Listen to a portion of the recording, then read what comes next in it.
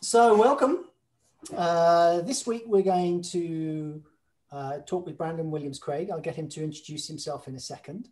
Uh, Brandon is a long-time colleague of mine. Uh, he used to work on the board of Aiki Extensions. Uh, what was your title? Managing director or executive director? Or something like that, wasn't it? Executive director and then the board. Yeah, he was the one that made things happen on a day-to-day basis. Uh, he he was the one who got paid and, and actually made things happen, whereas the rest of us sort of just turned up occasionally. Um, so I think it's fair to say that Brandon's pretty passionate about the idea that you can take out Aikido off the mat and in, into the world.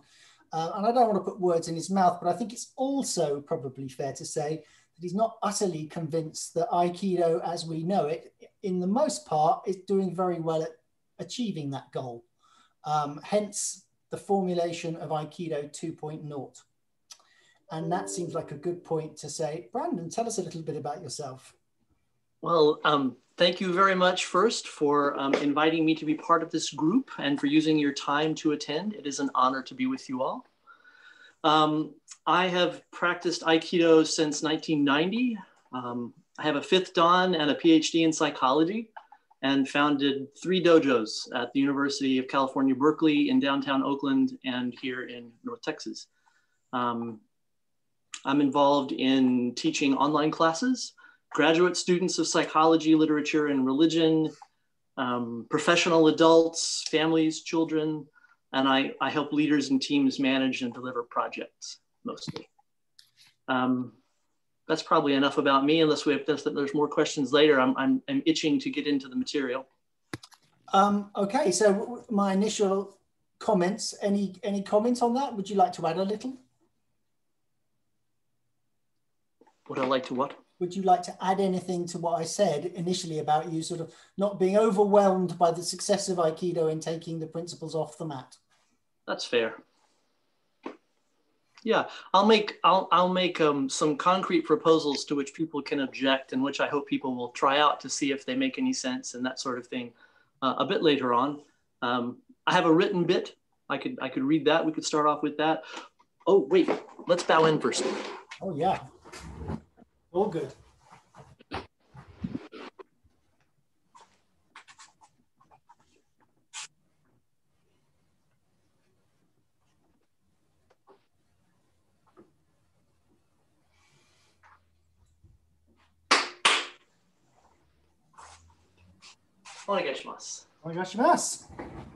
Okay, um, so in each session, um, it's going to give me a halo.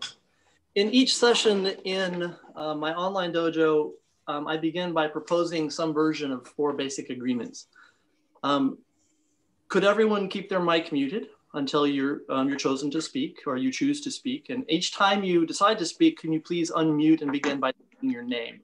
So I would unmute and say, hi, this is Brandon and whatever. Um, thing two, most sessions, um, including this one, as Quentin mentioned, are recorded to be shared publicly. And if at some point you need a recording to be removed from public view for any reason, you can notify us and we'll do our best. But once it's been released, due to the nature of the internet, that we can't guarantee that anything can be removed. So please participate with that in mind. The third thing is, I'd like to ask for an agreement that um, everyone will take care of themselves. Um, for instance, going off and returning in silence whenever you need to, but letting the host or the group know if there's some way in which we may support you. And the last thing and most important is um, everyone um, of every description and identity is most welcome in anything that I participate in um, because, because of rather than in spite of their differences. We will work through conflict by way of difference as though the skills involved are the building blocks of a martial art and can be learned in the company of others through repetition. And that's what I intend to do. Um, can we take a minute to hear from anyone who feels moved to say something at this time? Or, and if you continue after this, I'll assume that we have an agreement on all four of those points. So if you want to say something, uh, stick your hand up, but if you're okay, you, can, you don't need to do anything at all. I think you're good to go, Brandon. Lovely. So, Aikido 2.0 is a celebration of Aikido, not a replacement or chucking out of anything. Um, I will only know if you have made, if I have made my case here, if you explore what I propose after our time together, find that it makes sense and is obviously helpful, and then change the way you practice Aikido in search of long-term benefits for yourself and your students. If you don't improve what you're doing in some way, then this is not time well spent. Uh, and that is not a foregone conclusion. Please don't take any claims at face value and doubt everything, especially your own reactions to what you hear. Investigate each idea to see if in practice it will hold the water of understanding. Please make objections in public and don't claim to have understood until you can demonstrate yourself that something works. Any questions so far? No, one comment. Even if Please. people don't find it useful, they've still learned something. Could be. But uh, time well spent, that's up to you to decide. Weighed against your other options. Um, whether it was time well spent. And I encourage you to wonder that even aloud and say, I'm not sure this was, I have the following questions and doubts. So that's really super helpful to me. Um, so let's begin moving um, together with something familiar. And obviously you can do whatever you would like in response to this, but um, Quentin on the 26th um, offered a class in which he defined centering as creating a state where you are focused, relaxed, and grounded and in so doing, take power away from outside concerns and negative thoughts, allowing you to fully appreciate the circumstances you are in and make appropriate decisions as to what action will serve you best in any situation. Centering. Uh, making the formal definition slightly less formal, he asked, Are you relaxed, focused, and happy with what you are doing? Sort of a um, reframing what he had said in a, in a more biteable chunk. So let's continue to follow his lead um, as I remember it. And uh, I'm Quentin can give me uh, feedback later if you would like, but uh, will you join me? Um, he asked, you could, would you like to sit? Would you like to stand? And the question he asked after that was, are you comfortable? So that's your, that's your metric for deciding whether this is a good idea or not. So centering must require being comfortable for this particular exercise. Um, I'm gonna stand up. and um, the next thing was breathing. Um, and then please try not to just think about it, but to do it in whatever way that means for you. As you're breathing, I would add more than you think you need, more than you think you need in, more than it felt like you had out. Notice your bits relaxing. Notice the rhythm and the slowing down. And he brought the words in calmness, contentment, tranquility.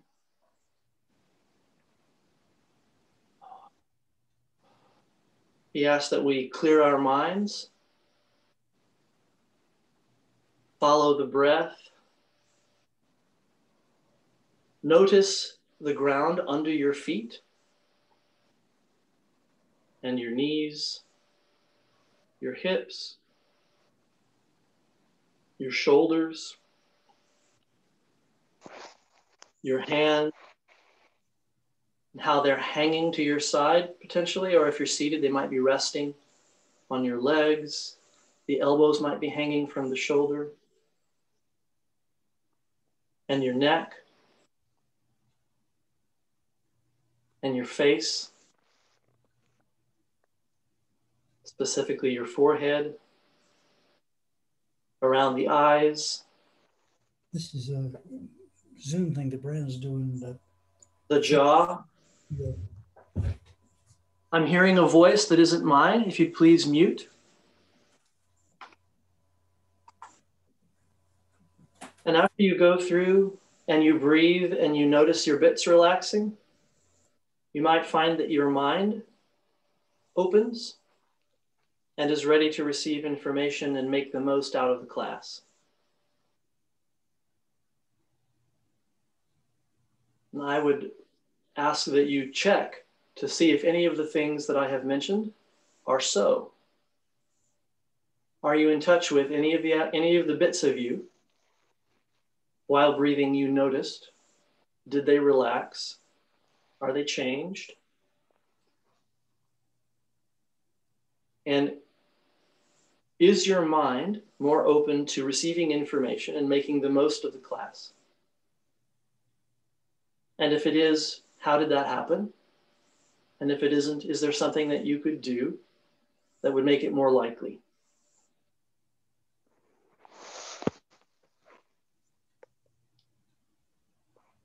Quentin then suggested that centering, not just this particular centering exercise, but centering in general, can be a touchstone in your daily life, his word.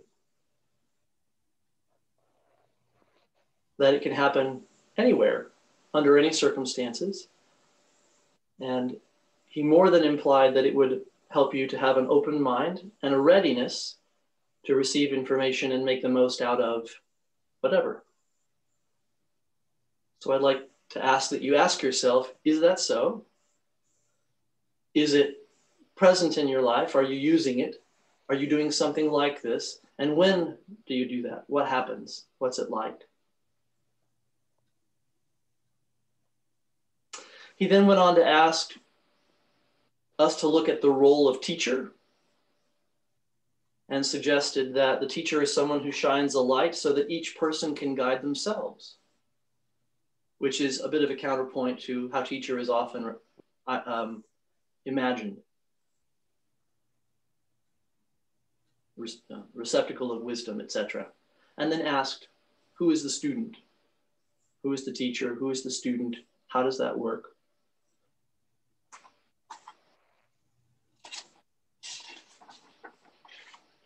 So I prefer to be right up front with my proposals and while we're centering, I would like to ask that you consider these, um, hoping that we can wrangle with them out loud rather than sort of grumbling inwardly and killing opportunities for improvement by not trying them out.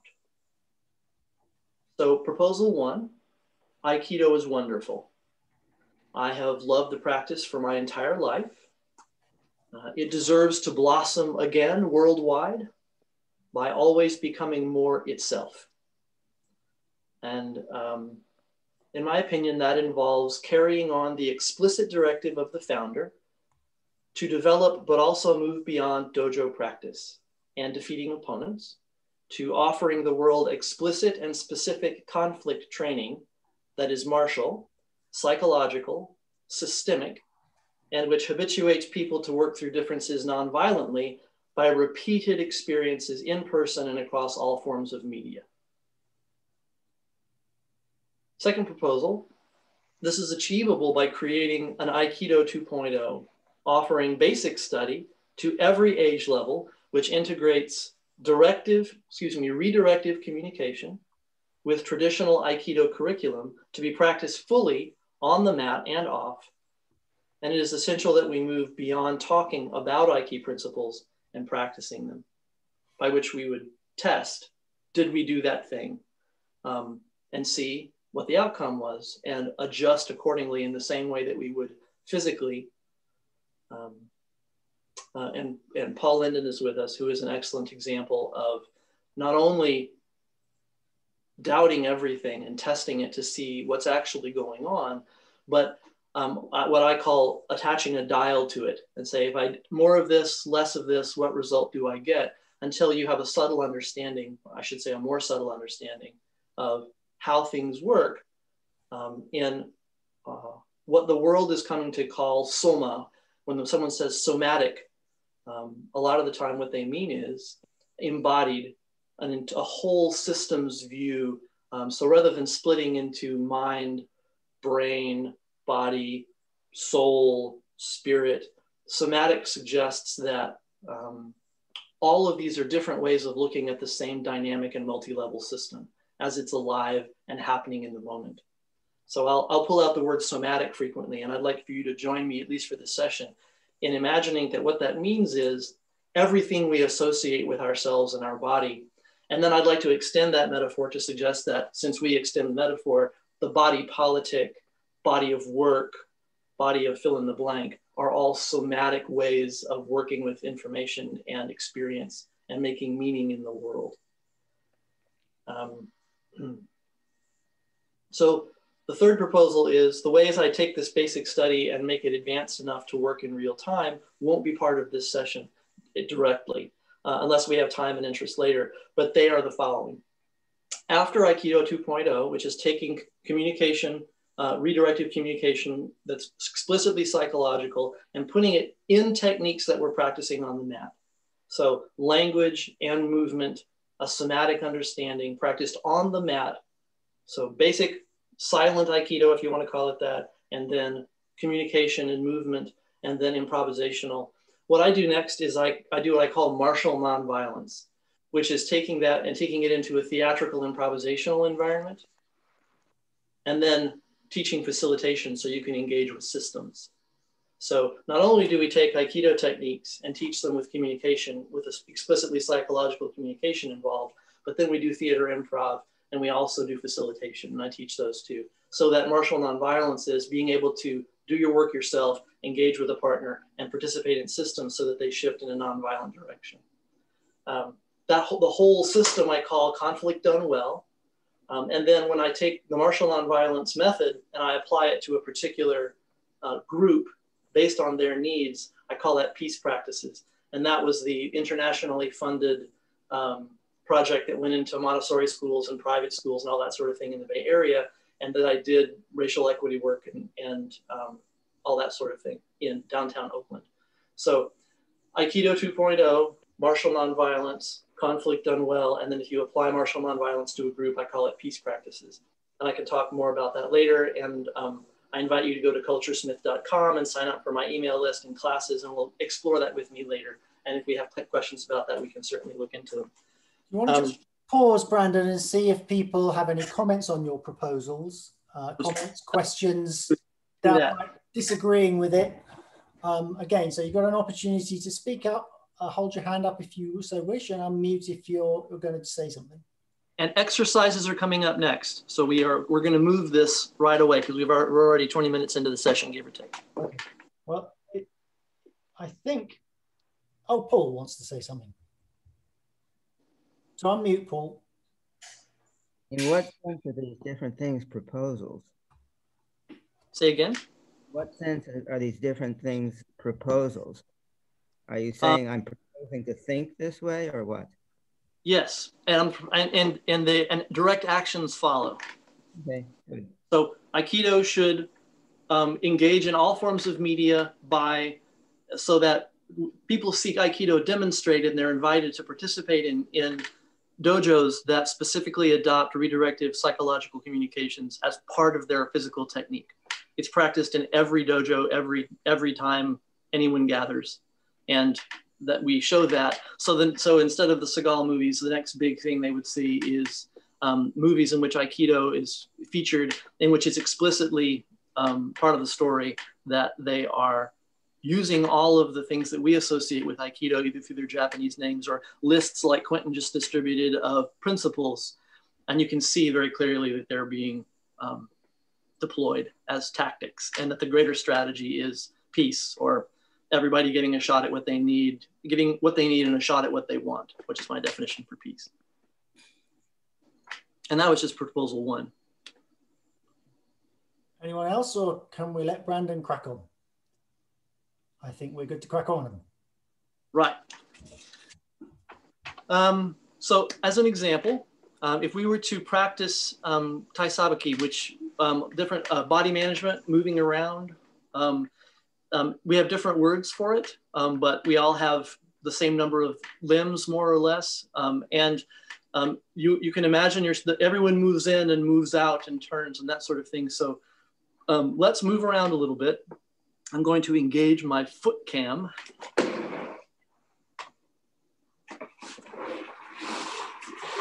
Well, if you're seeing just feet, that's Brandon. Yes. And there will be the only feet that say Brandon Williamscraig next to them. Um, and, no and what I'm going what I'm going to propose is that we do classic Aikido Tai Sabaki and we and then we add a script so that we're speaking in addition to moving. And it may seem odd at first. Uh, in fact, I'm hoping that it will. Um, but I'm hoping that you'll jump the boundary of this is very strange. Uh, because in the same way that you were a beginner when you walked into the dojo and weren't sure what to do, it will open up a part of your brain that allows you to really consider the proposals rather than just thinking about them, to entertain them, as it were. So um, everyone please get into, let's see, I'm gonna be in right hanmi, so it may look like left to you. You can match me and let your hands be extended so that your fingertips are up and the blade goes forward and your elbows and shoulders drop and your arms are apart from your body in a way that doesn't make you reach. And your forward hand will be the same side as your forward foot. And just bring your weight forward without letting your head pop up by shifting your back foot up and switch which foot is forward. We're just changing which foot is forward. Bringing the foot forward by closing the hip and bring the other foot back. So just change which foot is forward, being in control of your balance so that you feel one vertical line of balance the whole time.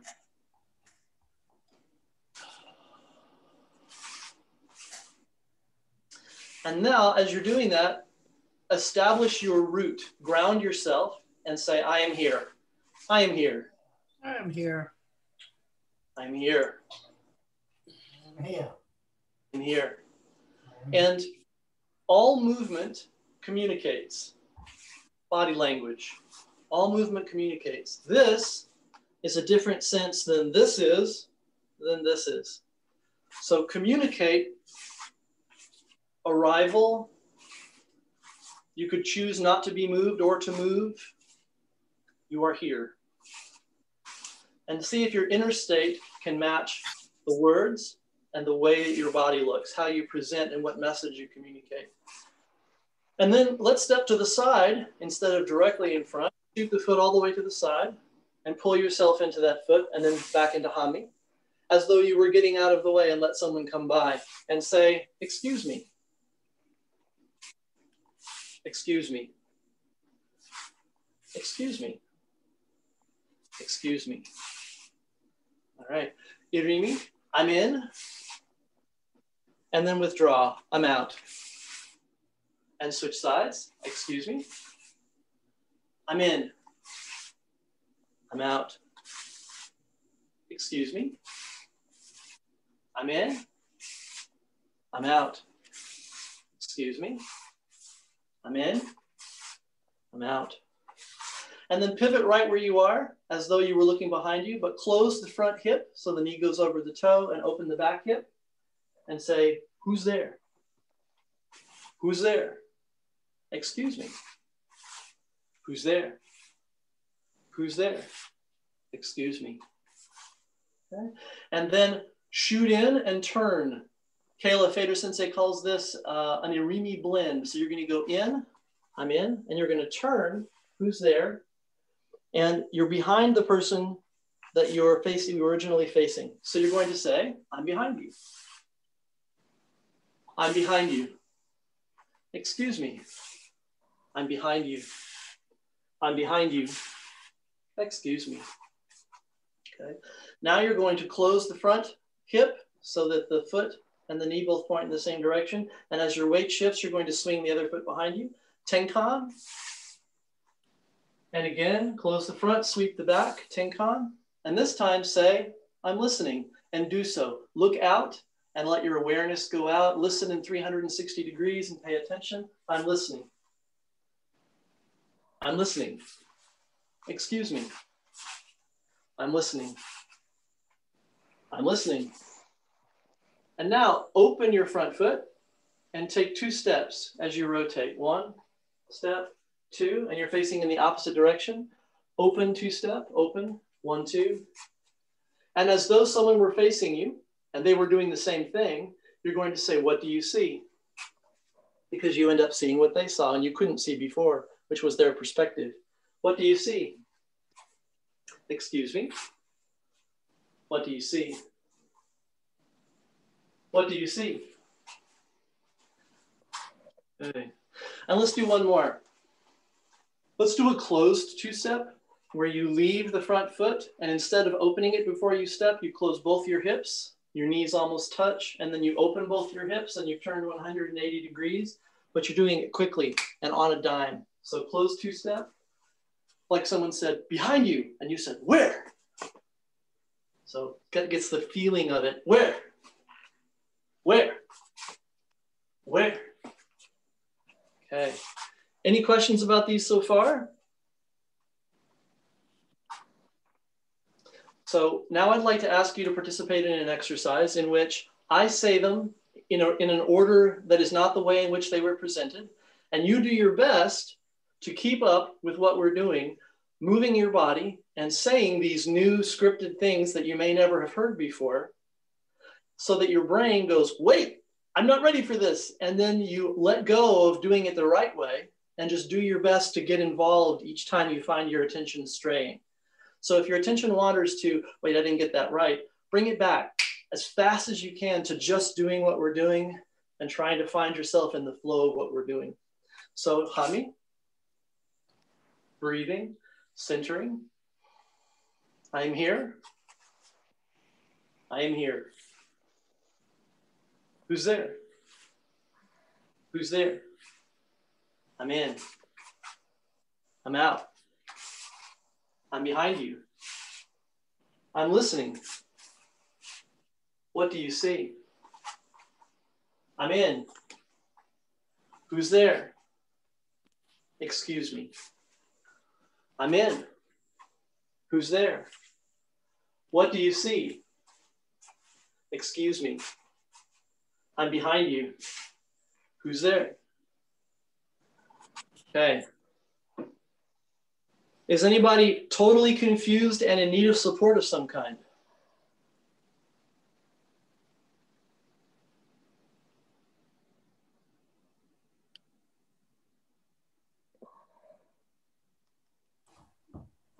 All right. So, um, in large part, the purpose of exercises like this is to engage the parts of your brain that don't often work together. The immediate martial benefit is this helps to smooth over the gap psychologically, I should say somatically. It smooths over the gap between being in the social contract, which is to say, we talk to each other, we make shared decisions with respectful dialogue, that sort of thing. Uh, a lot of the time, an attacker will come up to a potential victim and say something, anything. Have you got a dime? Um, you know, those are nice shoes. And then bam, they engage the part of your brain that says, ah, we're talking. And then they whack you. And um, if you're if you're accustomed to working so that all conflict is all conflict, your body doesn't turn off when your language center goes on, and your language center doesn't turn off when your body goes on. But you may have found, if, if you've ever been um, suddenly come on, even not necessarily, it could have been an accident or something, you, find it's difficult to speak. Um, and there's clenching and there's holding of breath and things like that. And one of the ways to smooth that over is to speak and move in conflict over and over and over again so that your mind generates options no less um, quickly than your body does from years of Aikido practice. Uh, so that I, I would like to suggest that as we practice, it should be clear what the martial benefit of it is, and it should be clear what the psychological connection of that is, and not only that they are related, but which parts you would use in which circumstances. So I am not suggesting that you would use physical Aikido all the time if someone is not physically attacking you, that you would literally move your body around or grab them or whatever, but that as metaphor, as imagination, the structures that we suggest in Aikido, especially the theoretical structures, transfer very well across domains. And that is what Quentin is suggesting too, if I may put words in your mouth, by putting out a list of what in older days would have been referred to as the virtues, as ways of living a life that you're proud of, that work well for you, that fit well into society. Um, and how do you do that? And, and the proposals that people have offered through the ages are you pay attention to the following thing and they list the following things that you should pay attention to and if those things you can check them off then you're probably doing what you can do to be moral upright um, honestly engage in relationship things like that so if we look at our practice somatically the movement that we do communicates something And that's where martial nonviolence originally came from, is that my first career was in the professional theater. I grew up at the Dallas Theater Center and went on national theater tours and things like that. And what I noticed for my Aikido students is that they were not communicating clearly through their bodies with their partner.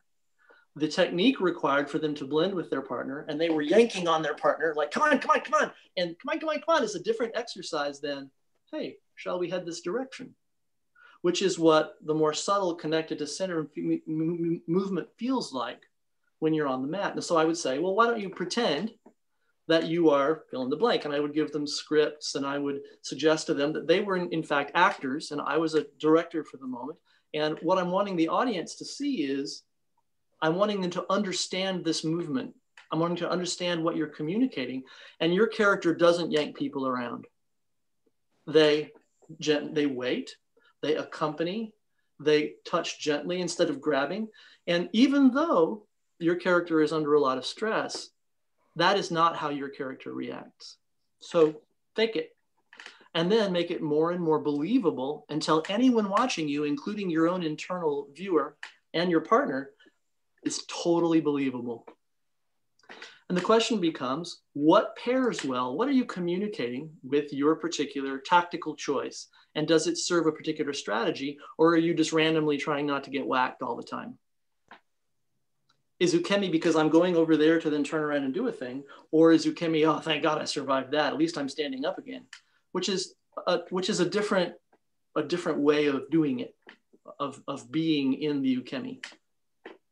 Questions so far? Comments? Yes, I've got one. Um, so um, you said that pairing the words with the body uh, was was was a good thing to practice. What was your evidence for that? Where where did you come up with this? What what, what you know, where did you start? Yeah. Um, well, I, I started teaching um, communication in Aikido um, somewhere in the vicinity of 99, um, 2000. And um, it was entirely about speaking directly to mechanical problems with Aikido techniques. So, and the, the reason I continued it is there was a difficulty. My Munetsuki Kotegaeshi doesn't work, followed by my saying, oh, well, how about if you say the words with your body and with your mouth? Um, they're going to punch and they'll say, me first. And they're going to try to hit you because you've done something that's, you know, out of sequence. They don't agree with who's what order, whose turn it was.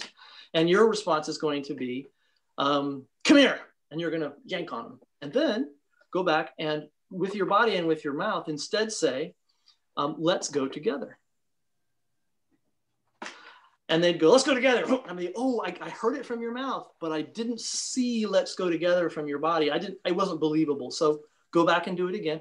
And so I did the same thing I do with my acting, my singing and dancing students, my I, I, did exactly the same thing as saying, I'm sorry, that's not, that didn't, that didn't work. Go back and do it again.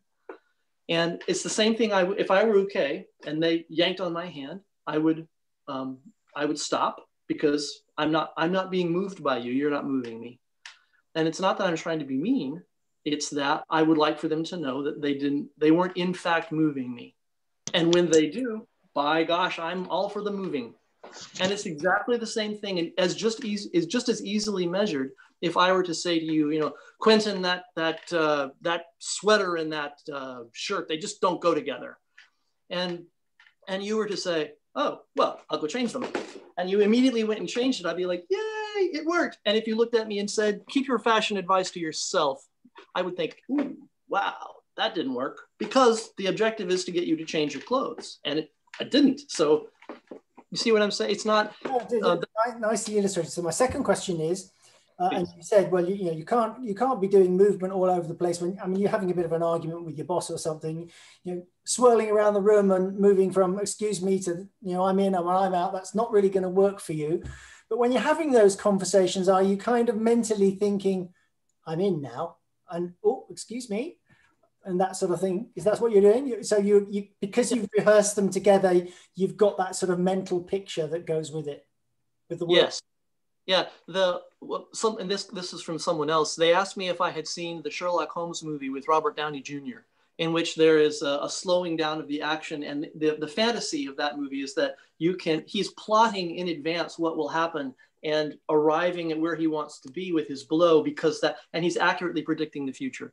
And that's, um, I can only imagine that being literally true in the most ideal of circumstances. Um, but I vector, I do what I call, what I tell my students is, is imagine the energy. I do mean imagine as energy. That means a lot of things to a lot of people, but just imagine it as a physics problem. And this goes in a predictable direction. And it's going to probably continue in that direction. Just it, it, the likelihood is high. If I say, I absolutely will not do what you're telling me, that is communicating a particular directional energy. And unless I successfully redirect it, you will continue not doing what I what I'm asking for. So I would need to, and I see that, I imagine it in whatever way works for me. And uh, it turns out that you can see in the metaphors of all, of all the times we communicate, especially in conflict, the metaphors are packed with somatic images. They're directional, they're physical, they're, you drop you drop a task, you keep the balls in the air, you back, let me, I gotta back away from that. Can I get in on this? There's all kinds of, all of our metaphors are embodied metaphors. And so it's not a jump as soon as you open your eyes to that to anticipate what's coming next. When you get a really strong vector of some kind, it's likely to continue in that direction. And the same thing is true of talking about something. Thank you. Anybody else? Yes, Brandon, I found two, two, two difficulties. One is I didn't know any of your vocabulary. I didn't know what you meant by open the hips, close the knees. I couldn't see them. The other thing was I didn't know what you didn't say that you're adopting an attitude in, in the sense of an emotional attitude.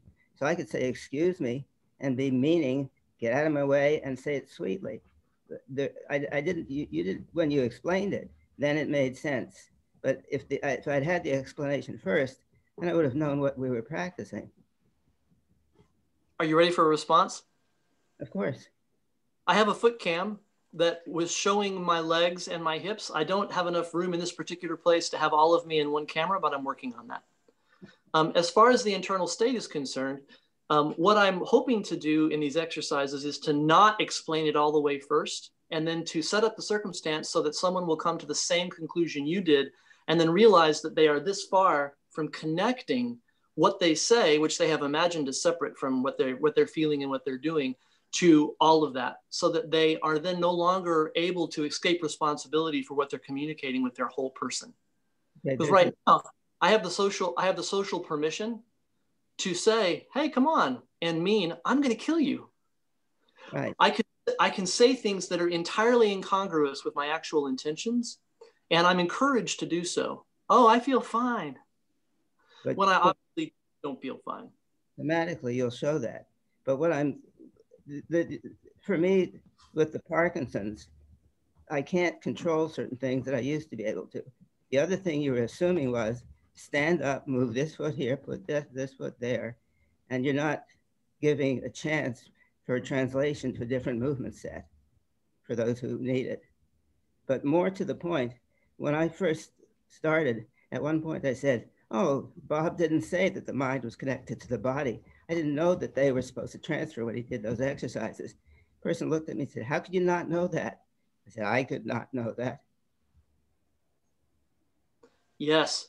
I find that, um, and this, is, this may be just me um, projecting my dilemmas on, on my students, but I find that the more I explain frequently, the less they understand and not be, especially since I'm the talking guy who's supposed to be putting all of the words into the techniques. I find that I explain and go deeply into examples so much that I, I provide insufficient somatic experience of what's being proposed. And if someone else discovers what you just said, it changes the way they understand it rather than my explaining it to them. But I flip a coin based on what I think the individual person or group needs and either go in the direction of outlining absolutely everything in the way that I know Paul Linden likes, which it really works well for a lot of people, and just saying energy and letting them go and do a thing and then go energy what the heck does that mean and then they have a better base for getting what the metaphor means than if i had told them what i mean by it my take on it is you're a genius in a certain area and that area what you're teaching to And for that's the opposite of what my area was. So I don't need details. I just need to be told this is what I mean to accomplish. By these movements, I mean to what you said at the end. By these movements, I'm joining the words to the body and the movement. I didn't know that was what you're doing. Thank you. It may stupid, and it is, but then that's not that's you're the area. You're, you, geniuses can't teach areas that, that for people that are not geniuses. Suffice to say, there are many different approaches, and the whole point of these sessions is in to introduce people to lots of different ways of thinking about it and see what works for them and pull in what they want. So we have got a few geniuses on this uh, board at the moment. Let this particular one carry on, Brandon. Well, and let me also say, just to be transparent about it, that I've studied with Paul. I traveled to his dojo and and was and you know stayed there for a while. Uh, what what Paul has done and is doing is a is a significant part of my understanding of this. So, and Paul was a part of Aiki Extensions, and when I got brought in to be executive director, Paul was one of the people I got sent to to in that kind of you need to know about the parameters of what the organization is trying to do and what our identity is. Paul is one of the pillars of, the, of that. So he's, he's carrying on a conversation that he and I have had for a very long time and which has always, and I can say that in, with a straight face, has always been helpful. So thank you, Paul. Me too. I saw something that I didn't see about your practice. So thank you. So another exercise, um, we, I, I, I, usually start with the, the three big basics that um, almost everybody in Aikido has practiced under one name or another. So let's do Tai no Henko, um, or some people call it um, Katatedori Tenkan. Um, it's the one hand is extended, you and and we're imagining, obviously, because we're remote to each other. One hand is extended, the other person, the imagined person or the person across grabs, and um, a, a, basket shape happens in the, in the particular version that I'm talking about. So there's a grab on the arm, a basket shape is made so that the energy runs this way. And then as the foot does that, I don't know if you can see my foot cam. I can't actually see my foot cam at the moment, but as the hand does that, without retreating, there's a rotation point, or in Japanese, jiku, right there that you engage so that you can rotate around it rather than trying to move the hand. So there's an extension, there's a grab, you extend into the partner and you move your balance around in a way that goes around this point um, engaging with their center so that they are moved off their center forward. And then you continue your turn with, with the Tenkan until you're facing the opposite direction and you would be side by side with your with your partner, your ear not very far from their head. And they would be they would be slightly bent in order to hang on so you can still feel their weight and check and see if you're moving them or not. So let's, in whatever way you understand Tai no Henko, the very first thing we're going to just just do it. Just be the um, nage, or whatever you whatever you would call that, the person initiating the technique, and just practice that a few moments by yourself.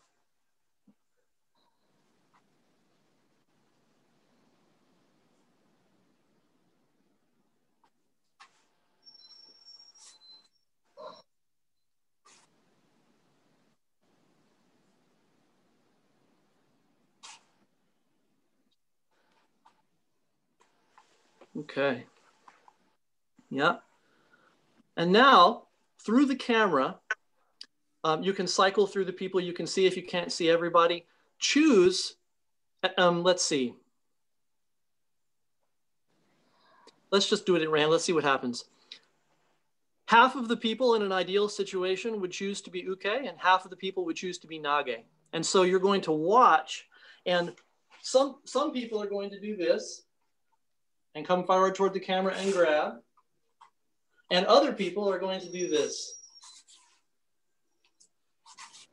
And if you'll do four in whatever way you choose, and then choose to do something else, somebody will be choosing you to be your partner. Can I make a suggestion? Sure. I can put people into 14 breakout rooms. So they're all paired up. And then we can come back in a couple of minutes. How would that be? All right, then let me let me give even more let me give even more instructions then. Please do it with your partner. Well, actually, Ash, will you demonstrate with me right quick? Sure.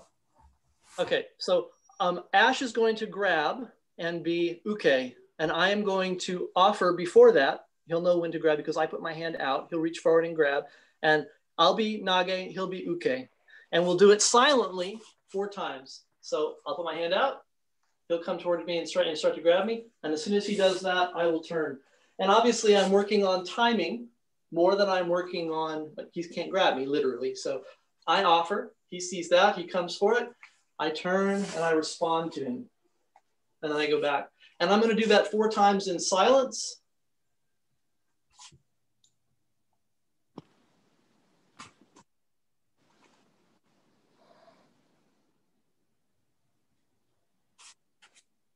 And then um, I'm, and then we're going to switch, and he's going to do it four times in silence. And then after he's done it four times in silence, we're going to add language. And the job is that the person who is grabbing will say, um, "It's your fault." No, let's see. Let's do. Uh, you are wrong. You are wrong. So Ash is going to say, "You're wrong," and I'm going to respond with, "I'm listening." You're wrong. I'm listening. You're wrong. Listening. Um, and I'm going to give Ash feedback that it's very difficult to actually see his body with the Golden Gate behind him. And he might help because he flashes in and out like a Marvel character. And so I'm trying, I can't really see when he's going. So the voice actually helped me to know when to go. But you can give your partner feedback, do four each silently, and then do four each triggering on each other, saying, You are wrong and I'm listening. So in total, everyone will get a chance to do everything four times silently and four times um, aloud. And you can just keep repeating that until Quentin brings us back. Okay. So I, when, whoever I'm paired with, we'll go through it. And when we're done, we'll give them 10 more seconds and I'll pull everybody back. Uh, that sounds get the signal, just come straight back if you would, please. And, and Paul, Paul, you're connecting your language, your body movement, and your mind or your psychological state. Okay. Thank you. Sort out the breakout rooms. Uh, how do I get round this one? Steve's blind, Brandon. Say again. uh, Brandon's blind, uh, Steve's blind, and Vitali's in a wheelchair, as is Molly. Uh, it might not be a problem for them. Uh, you know, so. Yeah, it's it's an it's an exercise in imagination, and it's also an exercise in the things that you can put your yeah. hand so to speak, which is timing. It could be entirely auditory if your eyes are the issue. It can be entirely um, imagined um, if you're if if the movement is uh, is difficult to do. It's also possible, as Molly will tell you, yay, Molly, that you can move your body um, in a way that's not exactly what you're seeing, but in a way that informs your ability to respond under these circumstances.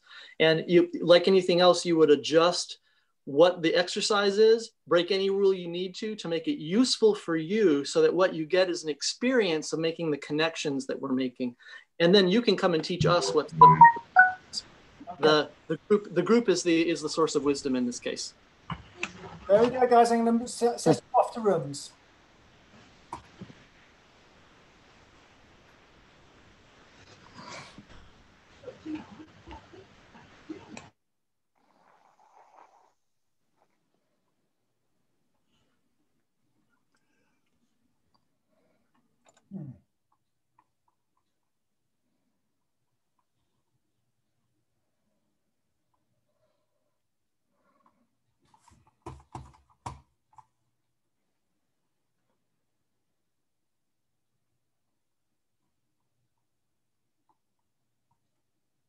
I'm still stuck in the main room. I don't know why I am.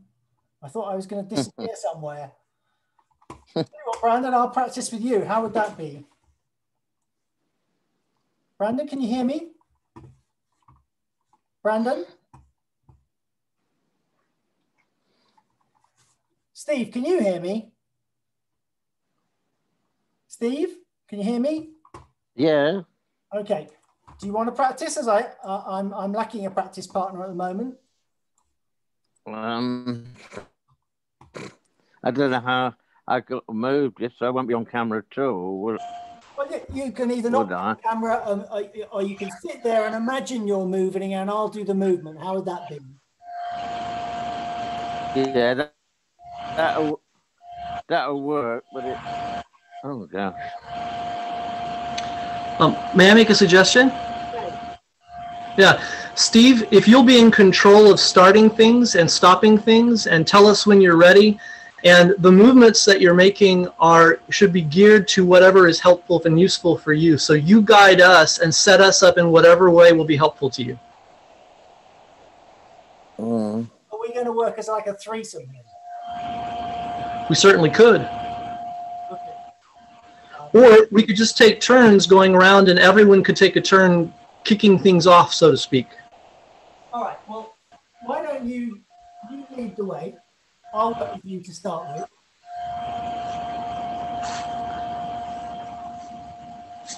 Let's see. Hmm.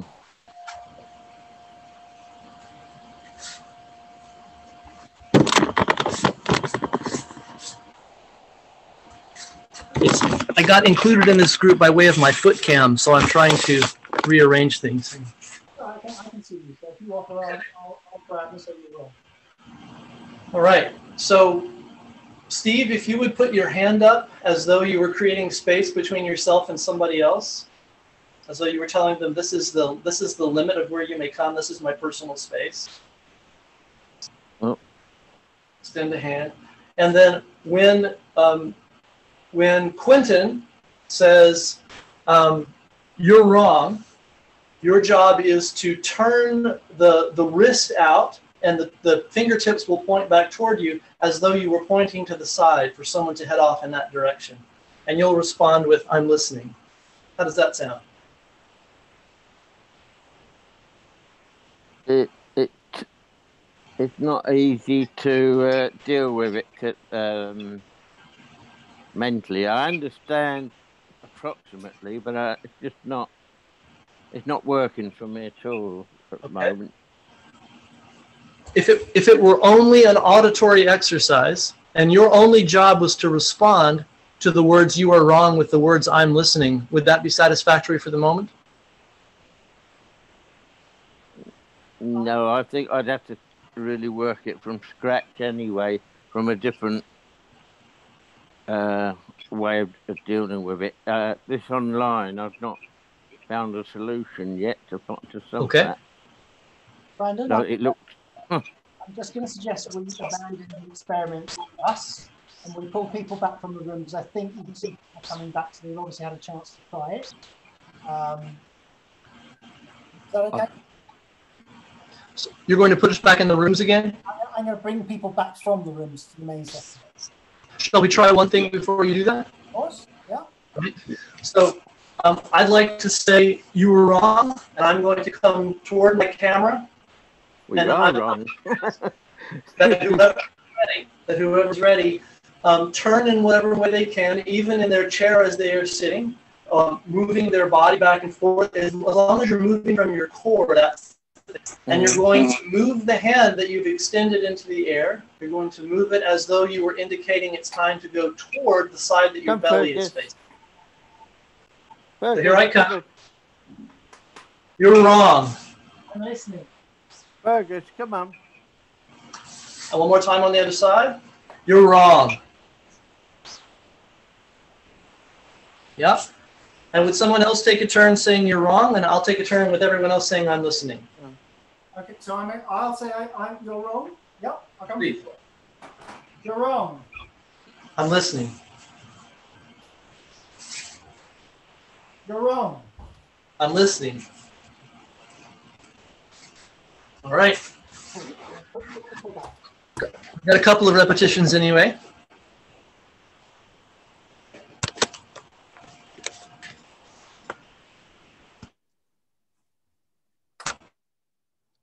Hope they come back sooner than the 51 seconds we have.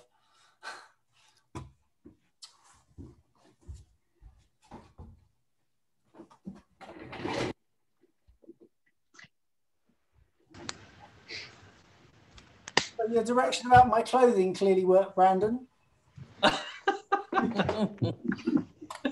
Good boy, Fergie.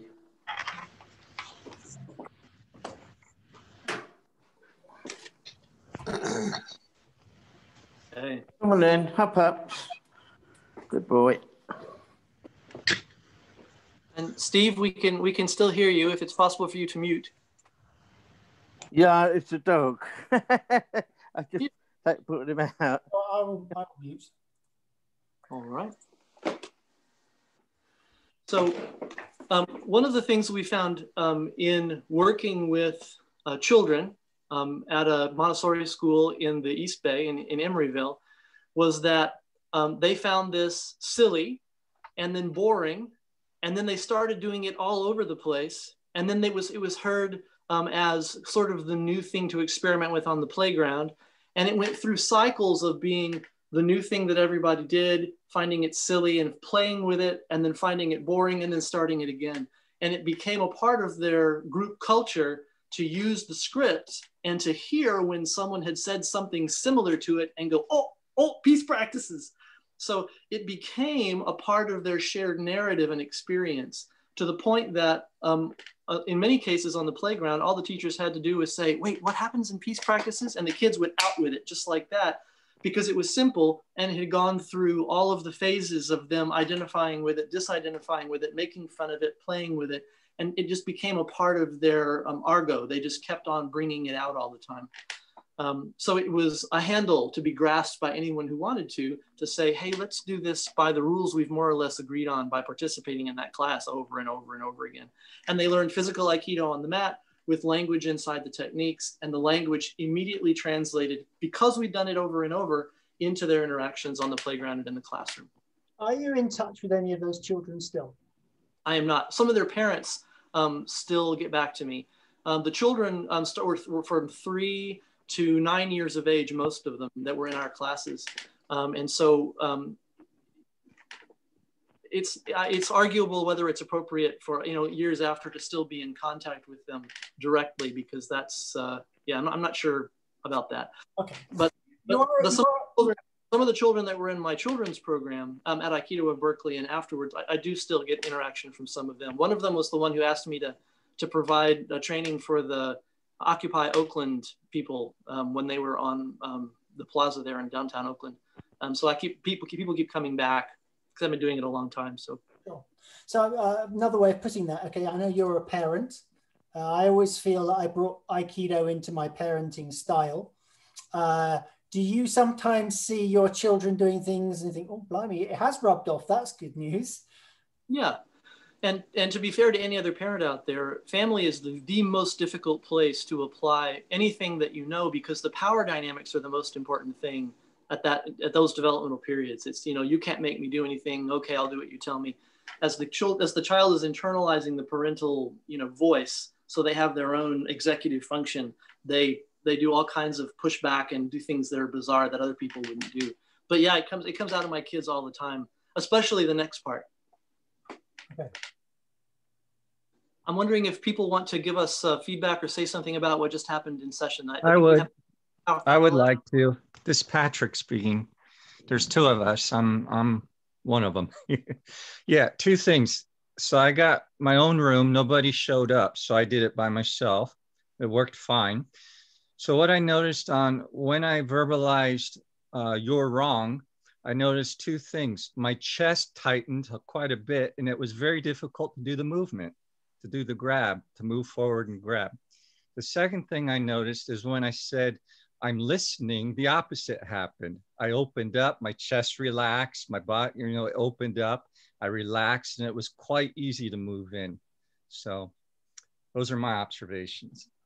Thank you. Yeah, thank you. Um, something? You, those reactions are reasonable given the feeling that he put into them. If he said, "I'm listening," with the thought that when I hear you, when I hear you, I know where you are and I'll kill you, the words and the movement would have been very different. Yes.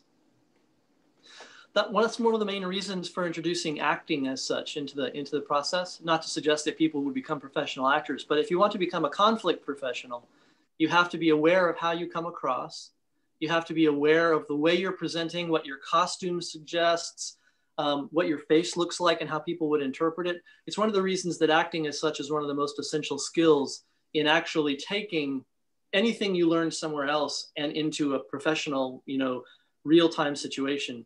Um, is that even a violinist has to act in the appropriate way to be received as a as a professional violinist, and that that goes that's across the board. It's just usually not made explicit. Yeah. So what you're saying is there has to be congruence between kind of the, the emotion, the the words, and the bodily action.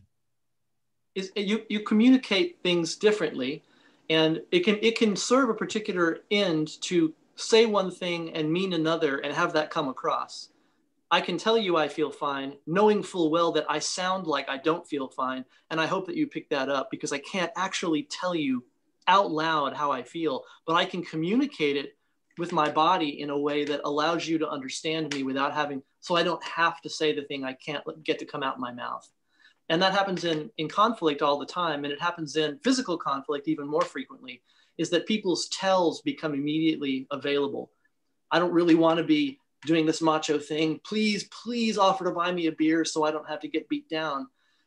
And you can say, "You want a beer?" And they're like, "Oh, thank God, yes, sure, let's have a beer." And then you can they can let go of whatever it is, because we tell constantly. We tell people what we really mean by what we do. But it's even more powerful if we actually say it as well. Absolutely, because you communicate on every possible level. Okay. Take us to the next level. Um, did I see uh, with Finn? Were you raising a hand? I, I thought I noticed a hand there. Yes, um, I, was I found it really interesting. I, was also practicing by myself and found myself sort of blending with myself. So the, the the phrases became joined as you would join in that activity. But I just wondered, in conversation and when you, when we're speaking, uh, we can't speak at the same time and um, without conflict. So how do you avoid conflict in speech. I was thinking I'm coming from this from a musical point of view where you can harmonize and people can music together, but we can't speak together without raising a, a conflict. Yeah, well, I, I, in when that question comes up, the exercises I use when we're doing martial nonviolence is um, I pretend it's an acting exercise for improv, which is what I do all the time. And there are a, a thousand different ways in which you can interact with someone. You can interrupt them. You can wait until there's complete silence before speaking. You can, um, I had a, a, friend who had a mannerism of humming before, when he really wanted to say something, he would go mm, until he had the chance to come in. And that's how he let everybody know, I'm coming in.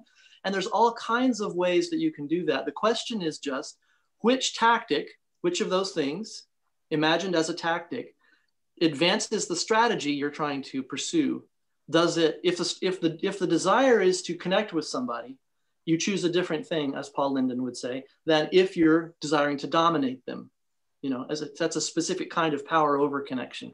So the thing that you do reveals what you want.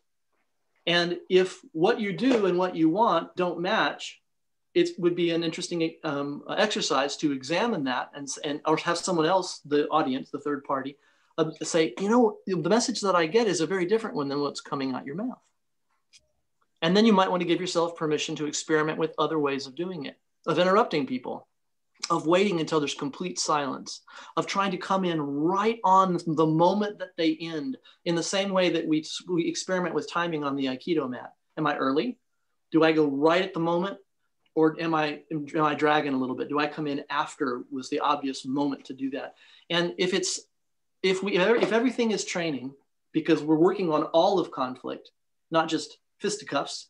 But if we're if everything where there's difference is an opportunity to train how you do conflict, then everything we're talking about is one exercise or another, and the question is just how we do it. And there's a little sensei voice that hangs out right here and says, How'd that go? Did that did that work out well for you? And it could be as extreme as I noticed that you're lying on the ground with blood coming from your nose. How do you feel about that tactic? At which point they could say, well, hop right up and give it another shot. And this time you'll want to move a little more quickly to the side, which of course you would agree because, and the same thing is true psychologically, is that when you do the thing and you realize, wow, that didn't express well, that didn't work. Didn't work over here, didn't work over there. Then you would try it differently next time. And the job is not to triumph, it's to get better at the process. Uh, Liz and Alec have their hand up yeah, that's that's me. Um, I've been a bit of I've being a bit of a naughty schoolboy. I was playing a bit with um, the exercise you were sen- exercising you were setting, Brandon, um, and I was changing my intonation and delivery of my lines, and seeing how it affected my movement. And I think you have already answered the kind of kind of question that was coming out of that, or the observation that was coming out of it, which is how you deliver your lines seems to affect how you move, or at least it did for me. Um, yeah. I'd just like to see if that's if I've sort of connected with something there, or if I'm just way off on my own little universe. Um, the formula how I do A affects B is I would argue the root of all of the study that we're doing, whether you do silent traditional Aikido practice or you're trying to figure out psychologically what works well and how you're communicating and how you come across. I, I wore this costume, and as a result, I got treated like hmm, I am speaking way too much. As a result, people are speaking too little. I'm, you know, you just fill you fill in the blank with those things and think to yourself, hmm, I wonder if I did it this way, what that outcome would be, and then you hone it and hone it and hone it, preferably with the company of someone who's a little better at it than you are uh, who, or who will at least give you honest feedback so you can know how you come across, which, like Paul was saying, is a very difficult thing sometimes. I don't know what's going on over here. I don't know what's going on over there. And trying to connect the two is a third mystery. And so you just start wherever you are and you start describing everything. Describe, well, it felt like this, felt like this. And that's what martial nonviolence does in general is it starts with description and it moves to proposal. I describe it this way. I would like to propose this. And that's the most basic uh, formulation that gets us into all of these mysteries that we're trying to figure out. Thank you. And, and thanks for the question. Um, so I'm a little mindful of the time, Brandon. So yep. we have to finish, but somewhere between now and half past we want to. So if you want to leave some space for people to ask questions or, or you know, just so you know. I do. Yeah. Um, would everyone like, well, uh, I mentioned um, uh, the exercise with Munetsuki Kotegaeshi, and the person who does the punching um, says me first, because um, uh, I, have been a mediator for many, many years, and a lot of the arguments in mediations can be reduced to the same kind of archetypal formulas. Um, and a lot of the time it has to do with just needing to tell the person that they're wrong, and once that's happened, we're done. Another, another, another one of the basics is it's your fault, which is suggesting that uh, you bear responsibility for, you're not just wrong, but you bear responsibility for doing a thing, carrying it forward, whatever. There's fault involved. And the third classic um, structure is that the order was off. It was my turn, not your turn. It's their turn, not their turn. And as long as you have the pot, the chance of saying that the other person is wrong, whose fault it is, where the responsibility lies, and what sequence things can happen. Those are the those three uh, and there are several more, but those those three are basic to most arguments, and they come up at some point.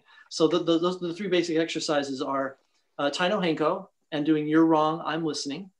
Um, Munetsuki Kotegaeshi, me first, followed by "Let's go together" as the hand gets taken away off, off the center and the, and the bodies go together in, in a circle. And then Shomenuchi Iriminage, which is a classic, you know, I hit you in the head or in the face sort of thing. Um, and that person says, it's your fault. And the other person responds, Tell me more, as their body continues to go sort of in the trajectory it was originally intending before the loop over and the fall. So even if it's just a micro continuation, there's almost always a continuation of the movement in order to, to perform the drop. Have you uh, written down, have you scripted what you would like people to say to the various moves that you just throw? So actually, is that down on a bit of paper? that you might oh. share with the group so that if they want to carry this on in their own practice, they've got something. Yeah. It's on paper, it's on the website, it's on video. It's these three basic ones are the ones that I share with everybody when I make the, the pitch for Aikido 2.0. Cool. Okay. Yeah. And you can search for peace practices on YouTube and conflict done well. And my last name, Williamscraig. With I, I just did a, a, seminar for um, a group in Brazil. that was an international online seminar, and all this stuff is in there too. And there's a there's a, a really accessible walking around the room exercise um, that, in, in, which you check in with your various bits. Um, that is great, and in my opinion, it works really well in helping people to understand Tai Sabaki and, and how to make that work. Um, this will be a yeah someone just commented this will be a youtube video.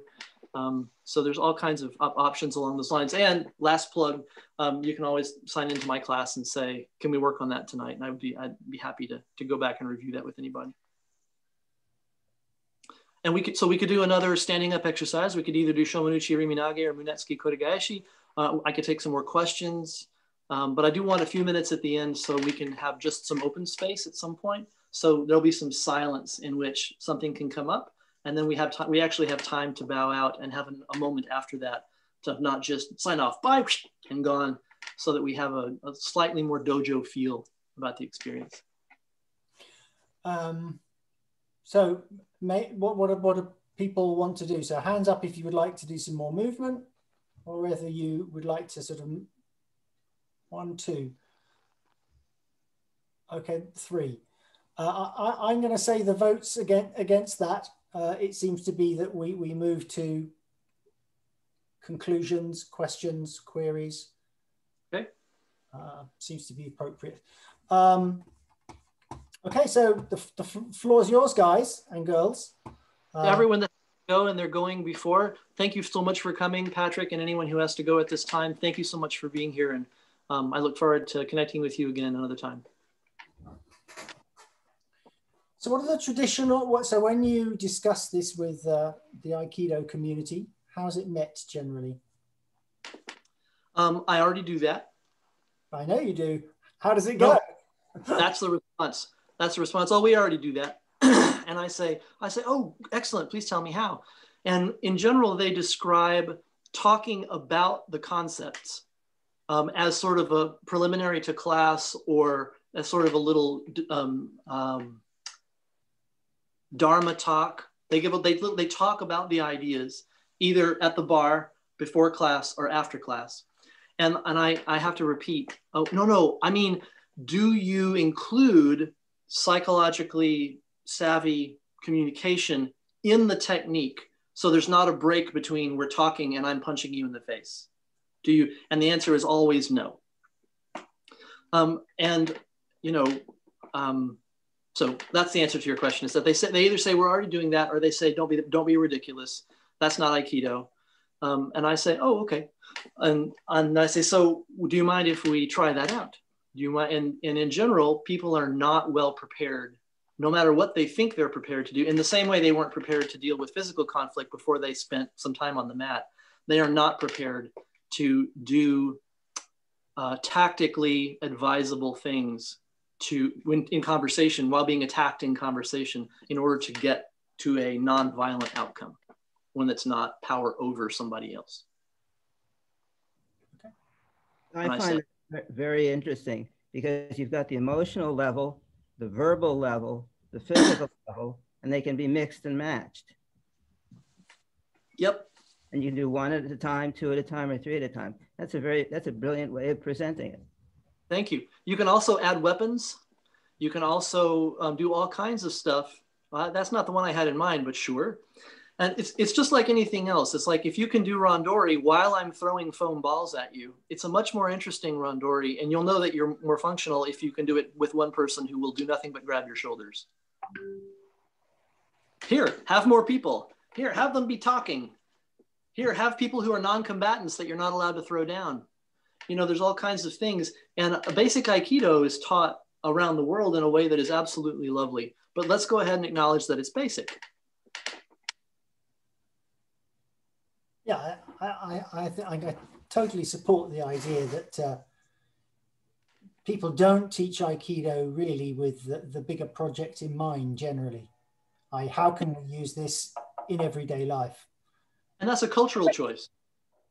Yeah, it's a culture. And, and as soon as the culture shifts and we say, so I, have actually had people come back, I have, I've had two different people come back to me and say, what have you been telling my students? And I said, I'm sorry, who are your students? Have we met? And they, and their response is, they're asking me, why aren't we doing that stuff that he's doing? And I'm saying, and I say, if you're expecting an apology from me, I apologize. You will not be getting one. Why aren't you doing that stuff? Why aren't you doing it? And then what do you mean why aren't I saying? Because you have all of these principles, Imusubi and you know Takemusu and all of these all of these massive metaphorical poetic, and you're not touching them. You're not talking about them. You're not doing what the founder did. And you know, I mean, it helps if I outrank them, but it but a lot some of the times I don't. And you know, I just I I, I want to know why are you not doing that? The founder did why aren't you? and then oh, yeah. that's popular conversation. I think the interesting thing is that of course, the way Osensei did it was he certainly uh, talked about it within his culture and his political, his beliefs, not his political beliefs, it's just his beliefs. Yeah. Um, but but obviously he didn't do it the way you're doing it, which probably is much more meaningful for for an American culture. And David, yeah. hands up. Yeah, hi Brandon, I'm David. Um, I was actually well, just following. Quentin's almost said it now, but I was just you're saying Osensei um, did this stuff. I just wondered how you um, uh, how that was manifest, as it were, in terms of these things you're talking about. Right. He used poetry and metaphor and language to um, in, in almost every class, and to the great frustration of his students, he would at times make them sit and listen to him go on, on and on about various kami from history and the floating bridge of heaven and stuff like that. And he and he would come out with uh, doka that are purposefully um, obscure and appropriate to his culture so that it was absolutely essential to think about that at the same time that you're moving. And then he would offer poetry as examples or explanations or not explanations of what the person was supposed to be thinking and feeling while they were moving so uh, he, he didn't, um, I would argue, being Japanese, he didn't explicitly have them speak when they were moving, because that is the opposite of learning basic Aikido. Um, but he expected a certain um, environment in which metaphor and spiritual understanding and that sort of thing were all part of the process of training. Thank you. very clear. Thank you. Anybody else got anything Dimitra. Yes, uh, I want to say that I think it's extremely helpful to to add the verbal attack, the verbal part in in the grabbing or in the attack, because it really challenges our uh, centering and our technique. And I remember once, many years ago, when my Tai Chi instructor who is not following the, the main route. You know, he's very different from, from the main um, current, we would say. He would uh, do something similar, like encompass a really verbal attack, sometimes an insult on purpose, together with a grabbing or with a punching. And to our surprise, we noticed that the first thing beyond the technique is are you able to keep your center? If somebody enters your space and insults you intentionally, the first thing you notice is you lose your center. Not even thinking about practicing a technique. The first thing you practice is keep your center, and then you can think about what kind of technique you're going to do. So it, it's very important that we embody these things. We understand with the body how difficult it is to, to practice Aikido in daily life or when there is a real attack. Because dojo is a very protected environment when you know that nobody's really attacking you. And it's so much easier to keep your center and to do the technique properly when you are in a safe space like this. So I find this very, very useful. Thank you. Thank you so much. I, I had a um, I had a drill instructor, a Marine Corps drill instructor and karate sensei tell me we've been doing this forever. We, we, we really attack and, and, you know, the Aikido, this is part of an Aikido is not a real martial art conversation that is endlessly going on. And I said, I said, but, but you do. And it's, it's lovely. There's a, there's a great benefit to actually being hit by people who will stop. Really important that you feel what it's like to be hit in the face and in the body by someone who will stop when you say stop. Super important that the first time not be when it's a stranger.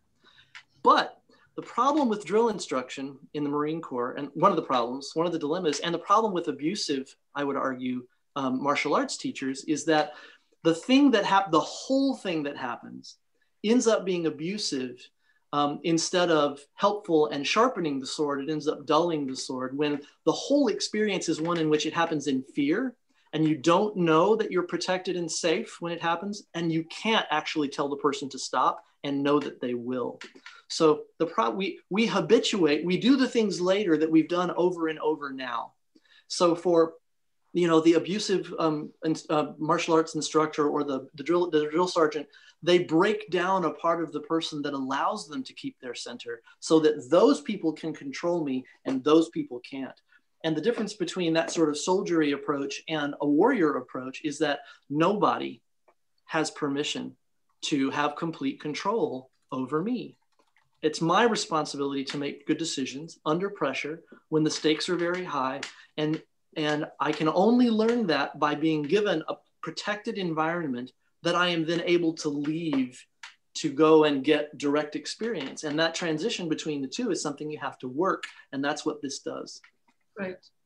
Have you tried uh, letting people come up with their own scripts? Absolutely. In the same way that people come up with their own techniques, and that's where we're headed with the metaphor of takemusu, is that you, you give somebody uh, and this is a response to Paul as well. You give something somebody an absolutely clear script. Always say this every time. Don't vary from it, so they can hate it, get bored, think it's funny, and it and it drops down in them in a different way. And then they move it around and they say things that are sort of in the vicinity of that. The vector is the same, but the spin on it is different. And then in the three levels of, of, of, of, of the three part learning model, we do a basic or Kihon, we do a, a moving connected um, one that's Ki no Nagare, and then do we do what I call Kimusubi, which is bringing everything together, tying it like a knot so that everything happens in the now. And that they might speak, they may not speak, they actually try to hit you. And Uke is not your friend. So they go from being totally in your, in your court and helping you out to being neutral to being not friendly. And you do that whole thing every time you do, ideally, every time you do an exercise. Okay. Any, Linda. Hi there. Thank you so much. Um, I just want to bring up the idea that this could be used unilaterally. I discovered it. Uh, I discovered an idea very much like what you're doing um, when I was training for an exam with uh, very aggressive sword or you know bokken strikes and i was doing tachidori trying to take a bokken that was being swung at my head. And i was just in a place of like ah you know god stop hitting me you know feel, uh, feeling very attacked about it and being reactive. And i finally after i just wasn't getting it wasn't getting it wasn't getting it i was like hang on a second i just went and sat for a second. And i came up with saying to myself oh that's my stick thank you for bringing it for me and when it came at me, I was like, thanks. And it shifted completely how I was. I wasn't jumpy about it. I was like, oh, that's mine. Thank you. It, it took the whole power out of it. Sorry, my cat's attacking my iPad. The, um, the narrative, you switched hmm? how the story with which you were approaching it. Exactly, exactly. And, I, and my partner didn't know.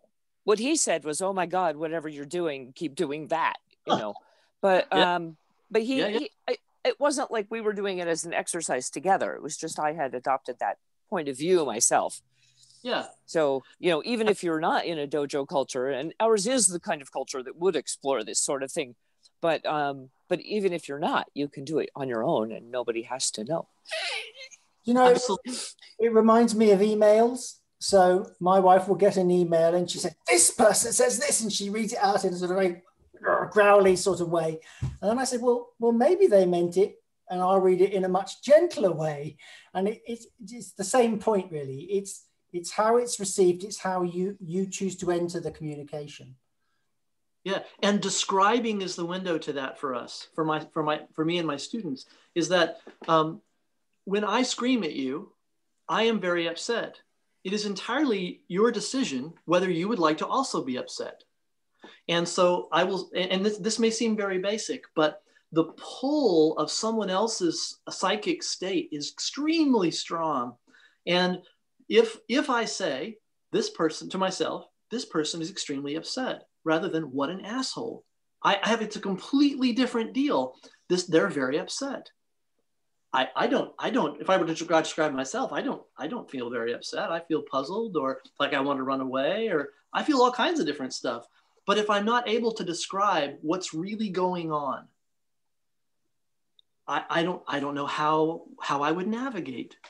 Yeah. I have to admit that I'm at sea before I can start looking around for landmarks. Very good. any more for any more? Uh, Quentin, Liz. Just a very quick observation. Um, Brandon, what everything you've said tonight has been absolutely brilliant. I found myself thinking, I think sometimes my my brain sort of goes off in a slightly tangential way, but I'm not. Alec is a big fan fan of watching rugby matches, and often I think the New Zealanders are playing or something. They'll get up there and they'll do the haka, and I love watching the haka. And when you were talking about combining the movement with what you're saying and things at the time, I was struck by the the haka. It looks like a, a kata that is put together to potentially deal with conflict, isn't it?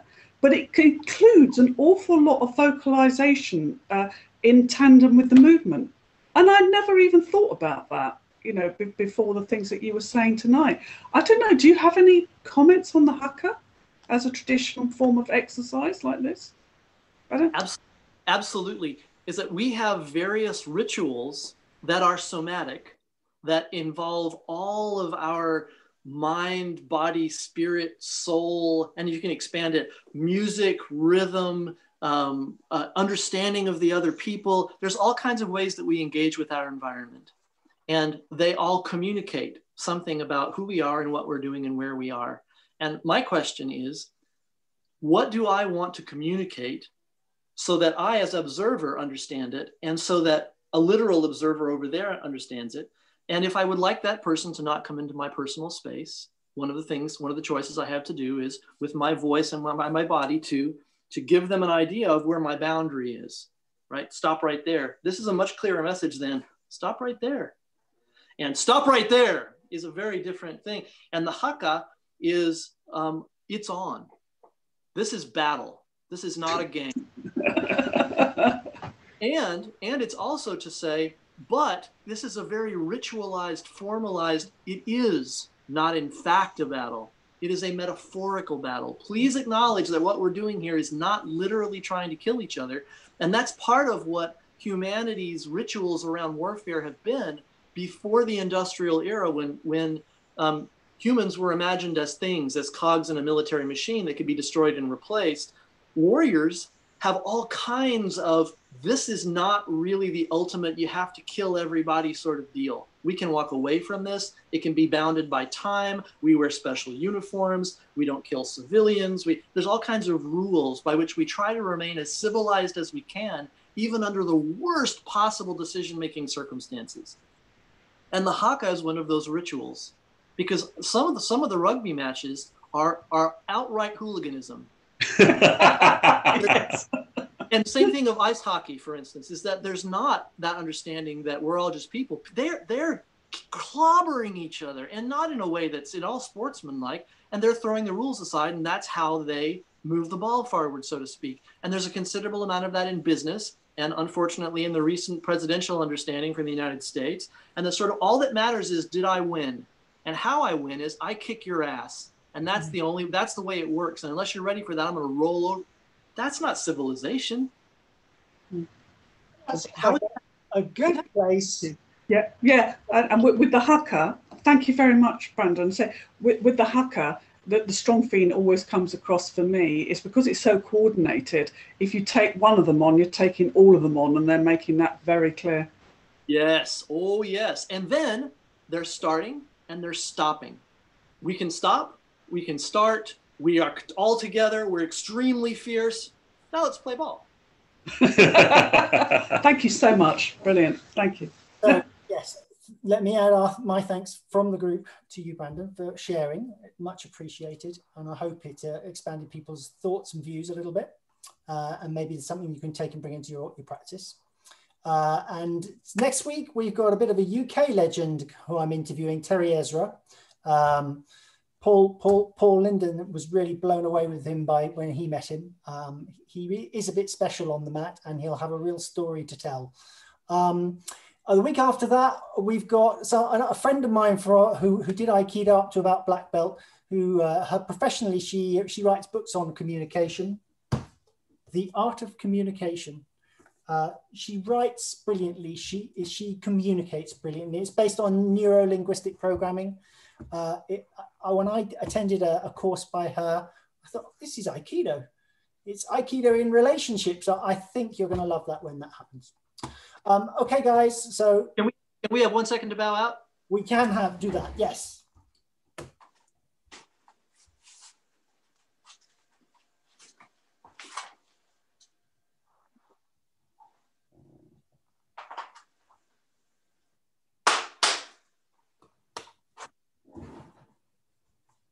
Thanks so much.